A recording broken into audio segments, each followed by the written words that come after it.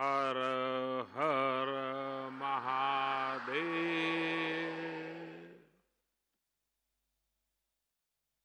उत्तर प्रदेश के लोकप्रिय मुख्यमंत्री श्रीमान योगी आदित्यनाथ जी। मंच पर उपस्थित सभी महानुभाव। काशी सांसद सांस्कृतिक महोत्सव के सभी प्रतिभागी साथियों और रुद्राक्ष सेंटर में उपस्थित मेरे प्यारे काशीवासियों,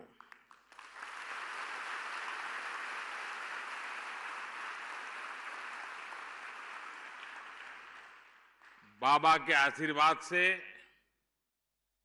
काशी का सम्मान आज नीत नई नई ऊंचाइयों को छू रहा है।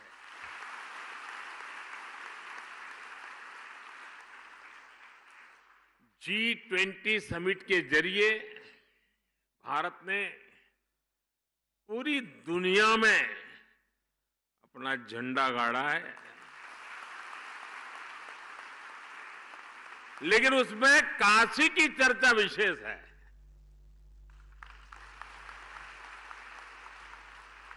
काशी की सेवा, काशी का स्वाद, काशी की संस्कृति और काशी का संगीत। जी ट्वेंटी के लिए जो जो मेहमान काशी आया, वो इसे अपनी यादों में समेटते हुए साथ लेकर के गया है।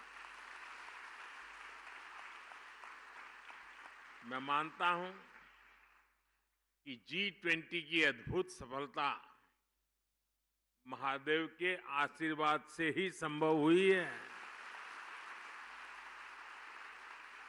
साथियों,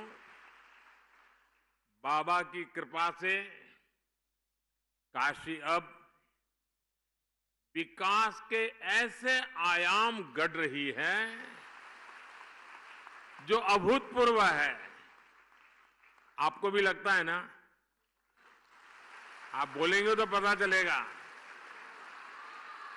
मैं जो कह रहा हूँ, आपको सच लग रहा है। आप बदलाव देख रहे हैं। काशी चमक रही है। दुनिया में काशी का नाम बढ़ता चला जा रहा है। साथियों, आज ही मैंने बनारस के लिए अंतर्राष्ट्रीय क्रिकेट स्टेडियम का शिलान्यास किया है।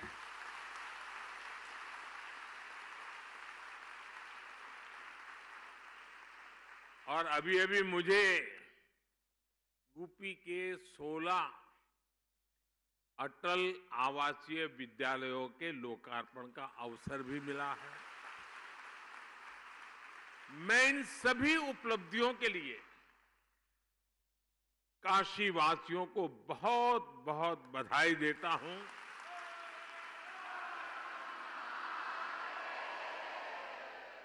उत्तर प्रदेश के लोगों को बधाई देता हूँ। मेरे श्रमिक परिवारों को बधाई देता हूँ। मेरे परिवारजनों 2014 में जब मैं यहाँ आया था। तो मैंने जिस काशी की कल्पना की थी, विकास और विरासत का वो सपना अब धीरे धीरे साकार हो रहा है।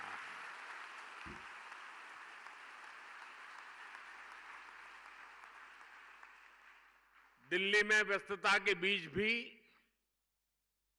मैं काशी सांसद सांस्कृतिक महोत्सव के जो आपका कार्यक्रम चला और मैंने तो देखा, बहुत व्यापक रूप से लोगों ने हिस्सा लिया।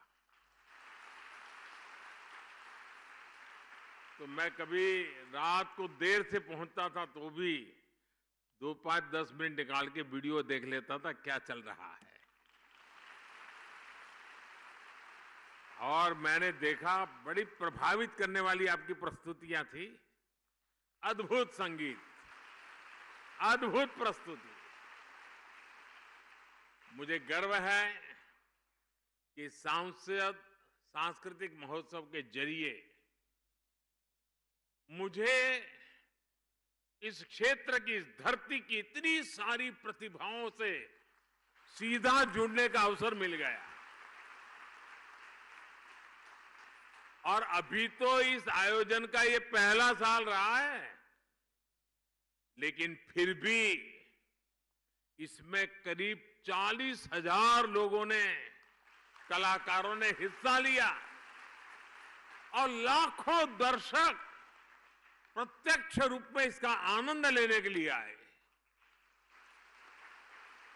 मुझे विश्वास है बनारस के लोगों के प्रयास से आने वाले वर्षों में यह सांस्कृतिक महोत्सव अपने आप में काशी की एक अलग पहचान बनने वाला है।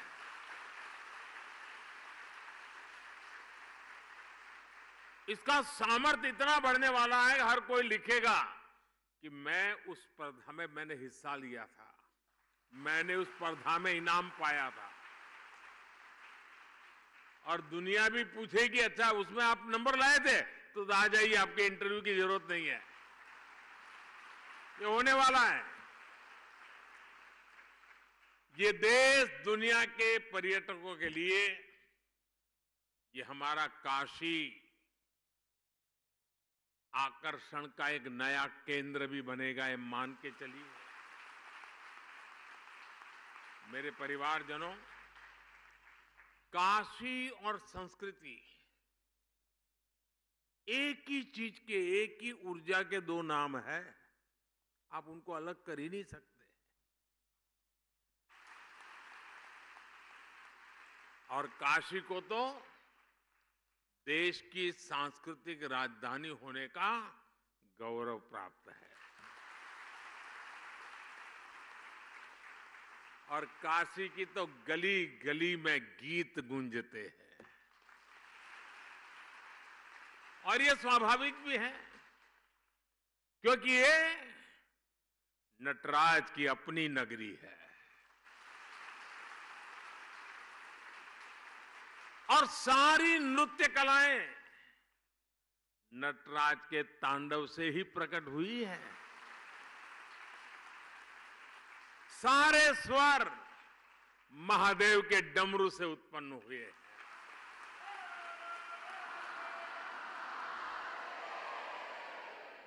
सारी विधाओं ने बाबा के विचारों से जन्म लिया है। इन्हीं कलाओं और विधाओं को भरत मुनि जैसे आदि आचार्यों ने व्यवस्थित और विकसित किया।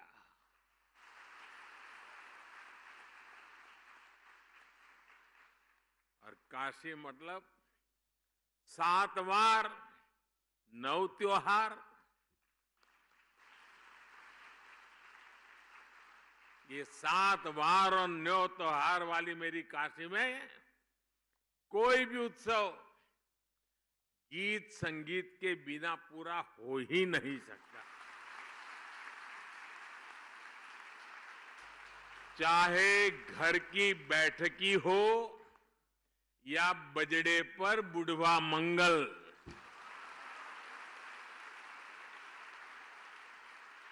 भरत मिलाप हो या नाग नथैया, संकट मोचन का संगीत समारोह हो या देव दीपावली पर यहाँ सब कुछ सूरों में समाया हुआ है। साथियों, काशी में शास्त्रीय संगीत की जितनी गौरवशाली परंपरा है, उतने ही अद्भुत यहाँ के लोकगीत भी है। यहाँ तबला भी है, यहाँ शहनाई और सितार भी है।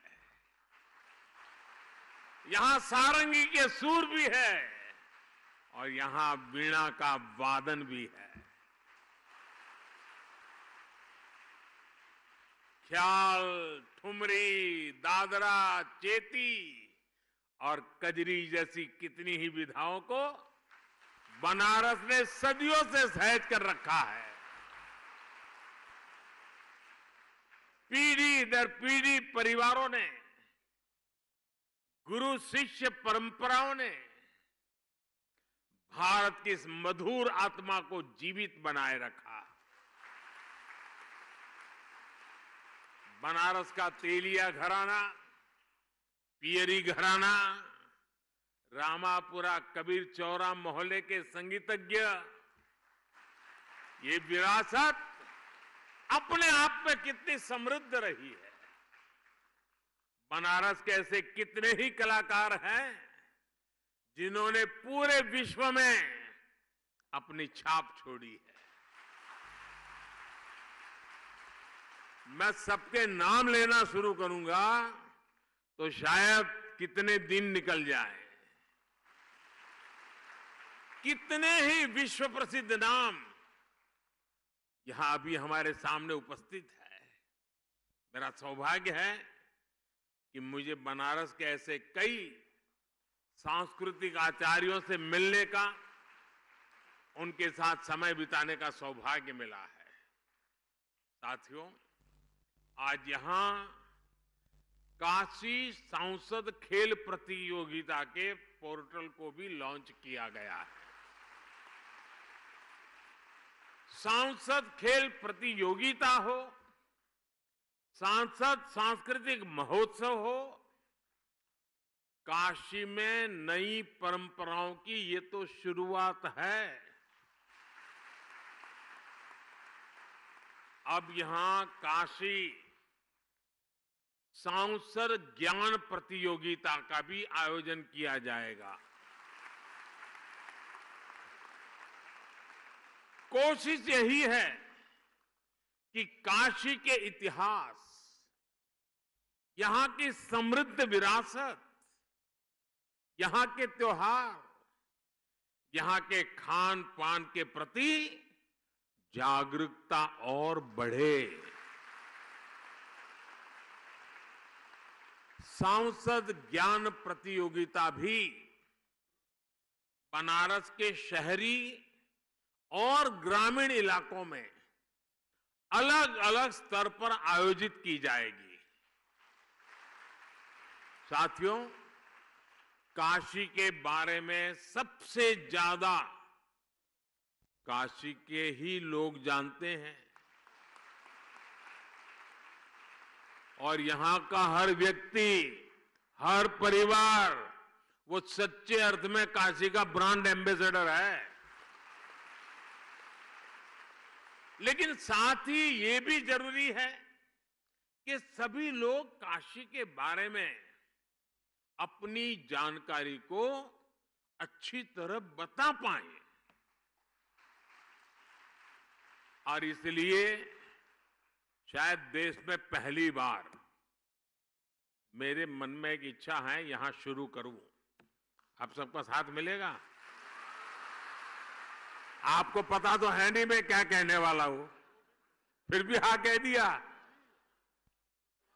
देखिए, कोई भी टूरिस्ट प्लेस होता है यात्रा धाम होता है तो आज के युग में उत्तम से उत्तम गाइड बहुत आवश्यक होते हैं।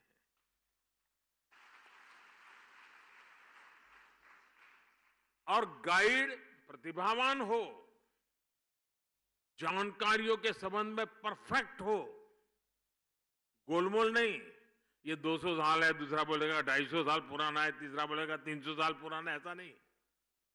वो 240 बोलेगा मतलब 240 ये ताकत काशी में होनी चाहिए।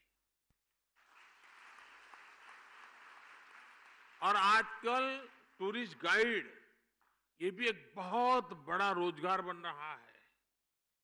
क्योंकि जो टूरिस्ट आता है, वो सब चीज़ें समझना चाहता है।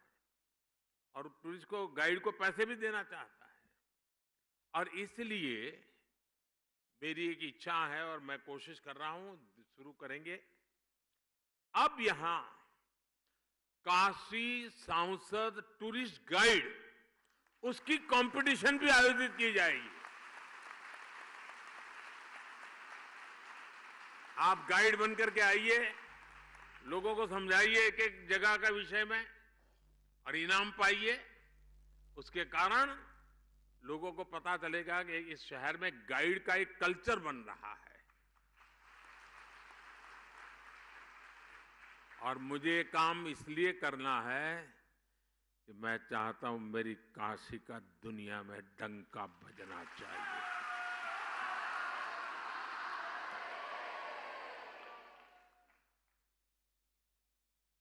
और मैं चाहता हूँ कि पूरी दुनिया में अगर कोई कहीं गाइड की बात करे तो काशी के गाइड्स का नाम सबसे सम्मान से लिया जाए। मैं सभी काशीवासियों से अपील करना चाहूँगा कि आप अभी से तैयारी करिए और बढ़ चढ़ करके उसमें हिस्सा लें।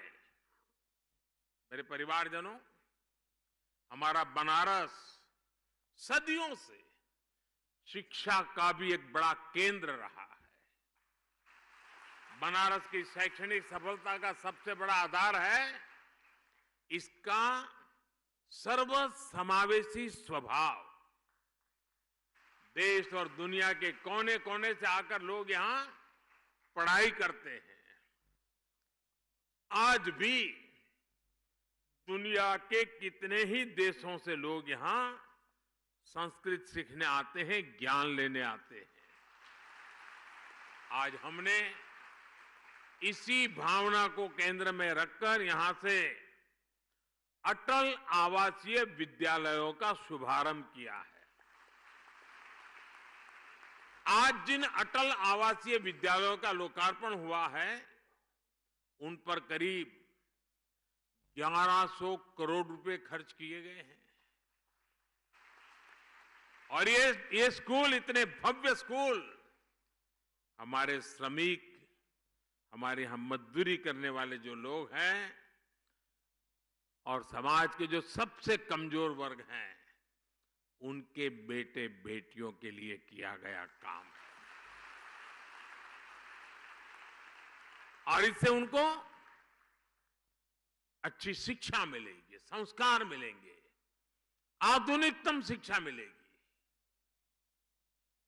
जिन लोगों की कोरोना में दुखद मृत्यु हो गई, उनके बच्चों को भी इन आवासीय विद्यालयों में निशुल्क पढ़ाया जाएगा।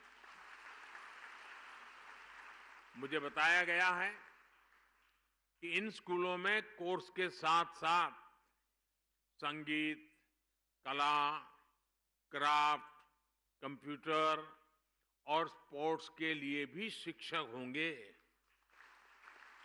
यानी गरीब के बच्चे भी अब अच्छी से अच्छी पढ़ाई का, सर्वांगीण शिक्षा का सपना पूरा कर पाएँगे। और केंद्र सरकार की ओर से हमने इसी तरह जनजातीय समाज के बच्चों के लिए एकलव्य आवासीय स्कूल बनाए हैं। नई राष्ट्रीय शिक्षा नीति के ज़रिए हमने शिक्षा व्यवस्था की पुरानी सोच को भी बदला है। अब हमारे स्कूल्स आधुनिक बन रहे हैं। क्लासेस स्मार्ट हो रही हैं। भारत सरकार ने देश के हज़ारों स्कूलों को आधुनिक बनाने के लिए पीएम श्री अभियान भी शुरू किया है। इस अभियान के तहत देश के हज़ारों स्कूलों को मॉडर्न टेक्नोलॉजी से लेस किया जा रहा है। साथियों, काशी में सांसद के तौर पर जो भी नए कार्यक्रम शुरू हुए हो रहे हैं, उन सभी में मुझे आपका भरपूर सहयोग मिल रहा है।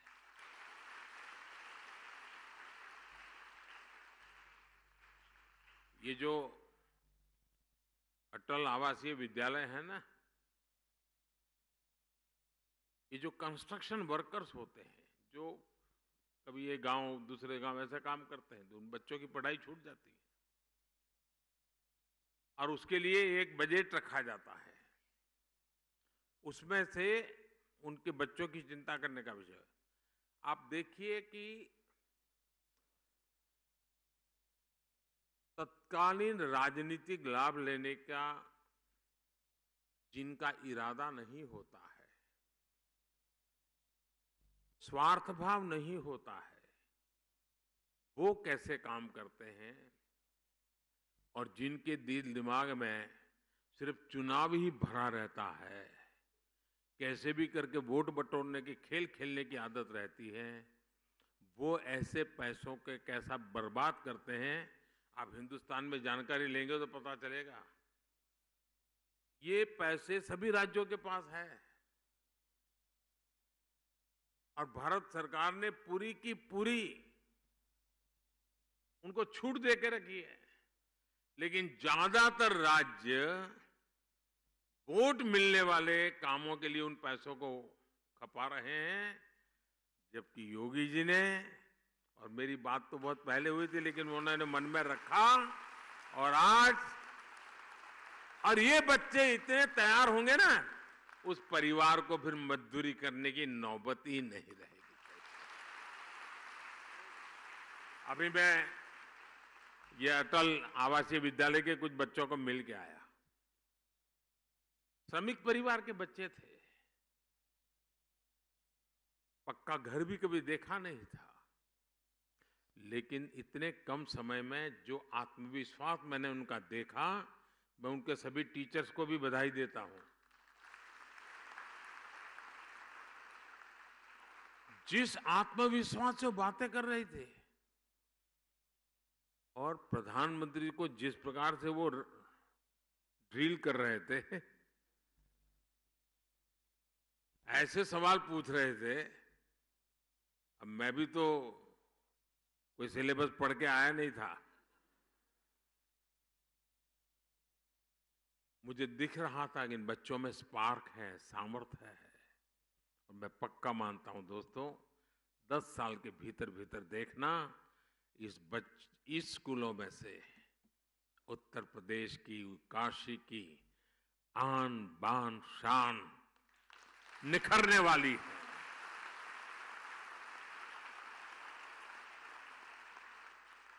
मेरे प्यारे काशीवासियों, मुझ पर आपके आशीर्वाद ऐसे ही बनाए रखिए। इसी भावना के साथ आप सबका बहुत बहुत धन्यवाद।